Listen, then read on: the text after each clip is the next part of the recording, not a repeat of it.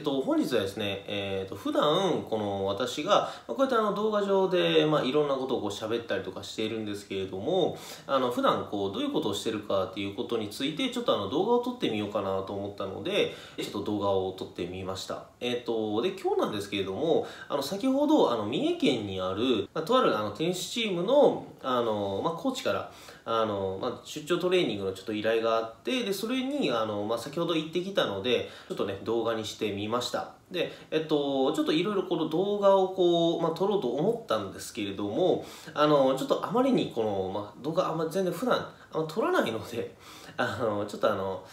まあ、いろいろこう送ってくださいとか言って言ったんですけれども、ちょっとあの、今回言ったものだと、ちょっとあの、足りなかった。ったというか、まあ、結構数が少なかったのであの前々回行かしてもらったやつとかあの結構あの冬場に行かしてもらったやつとかの動画も入ってると思うのであの、まあ、その辺はちょっとあの温かい目で見守っていただければなと思いますのでね、はい、ぜひねあの、まあ、最後まで見てください。それではどうぞ。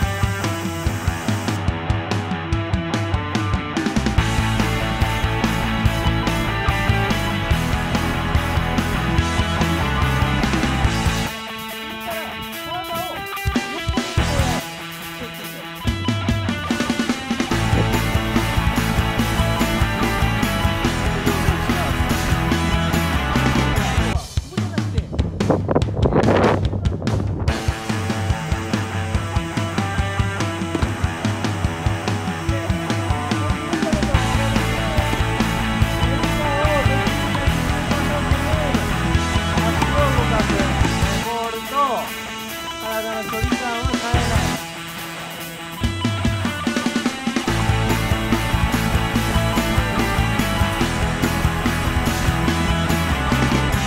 は、えー、三重県の、まあ、とあるこうテニスチームの方から依頼を受けて、まあ、こちらの三重県のテニスコートにちょっと今日は来させていただきました、まあ、こんな感じで、あのー、まあ、私もこう指導してあの結構外だったんで結構日焼けとかすごいしてるんですけれども、まあ、実際こう普段は、まあえー、ジムであったりとか、まあえーとまあ、公園であったりとかもこう指導させていただくんですけれども今回はそのまあ、テニスチームででしかもまあ全体で。であとはまあテニスのそのパフォーマンスに直接つなげてほしいっていう依頼を受けたので、まあ、こうやってあの、まあ、センターコート、まあ、結構いいコートですよね本当に。はい。まあ、センターコートの、まあ、結構いいところであの、まあ、トレーニング指導させていただきました、まあえーとまあ、体の使い方であったりとか、まあ、ジュニアだったので、えーまあ、コーディネーショントレーニングとか、まあ、目のトレーニングとかっていうようないろんなあの、まあ、トレーニング指導を今日はさせていただきました。またねあの興味がある方はあの概要欄の方にあの私のホームページがありますので、まあ、そちらの方をねあのぜひ見てみてください。まあねえっ、ー、と今日はまたこれからあの、まあ、今結構あの、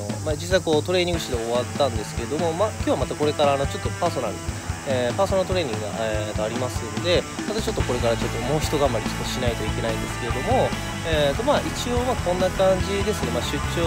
に行ったら、まあ、テニスだったらオンコートだったりとか、まあ、野球だったら、えーとまあ、グラウンドだったりとかっていうような感じで、まあ、こうやってあの実際こうスポーツ現場であの指導することもあります。はい、えー、っていう感じでね、えー、と一応終わっていこうかなと思いますと、またね、あのこうやって、まあ、えー、出張動画また出していこうかなってね、まもしあの需要があればまた出していこうかなと思いますのでね、あのぜひね、あの興味のある方は、えーと、チャンネル登録と、えー、高評価よろしくお願いいたします。えー、本日は以上になります。ご清聴ありがとうございました。